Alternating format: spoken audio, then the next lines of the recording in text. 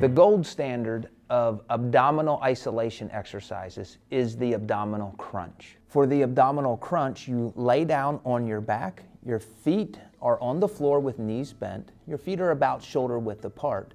You're gonna cross your arms across your chest, and then you simply just try to raise your torso, trying to bring your upper chest or neck towards the ceiling, and you'll notice that the shoulders come off of the ground.